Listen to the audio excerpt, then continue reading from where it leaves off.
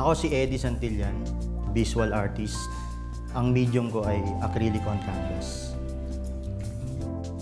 Bali nung ano, two and a half years old ako, nag-drawing na daw ako noon. Kalabaw daw yung drawing ko. Pagdating ko ng grade 4, pinili sa amin yung may mga potential.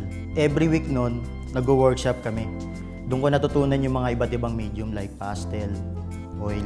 After nung college, nag-apply na ako sa isang portrait shop bilang caricaturist.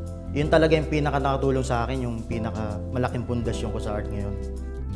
Pagdating ng 2010, nag-apply na ako sa isang gallery. Doon na nag-start, tuloy-tuloy na ako doon. Ang dami kong in-experiment na style. Hanggang sa mapunta na ako ngayon sa abstract making. Yung connected series, ah, tungkol to sa journey ko eh. Kumbaga hindi siya aksidente eh. Nangyayari siya dahil sa'yo. Konektado lahat. Ito namang isa, ang title niyan Moving Forward. Bagay ito sa building na to kasi nag-improve siya, di ba? Moving Forward. May progress kumbaga. So mapapansin mo sa painting ko yung transparency tsaka lines. Nag-overlap siya. Tapos may kita mo yung likod. Parang sa experience ko rin kasi yun eh. Yung past experience ko.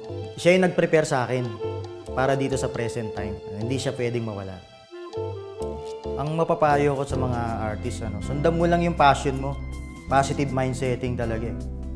Kasi ikaw talaga magke-create ng ano eh, mundo mo eh. Hindi lang siya yung gawa eh kundi yung attitude mo as an artist. Kung paano ka magtutuloy-tuloy. Kasi maraming failure na darating sa'yo eh. Yung iba may stop na dyan eh. Ako talagang go ako eh. Kahit ano pang mangyari. Ano.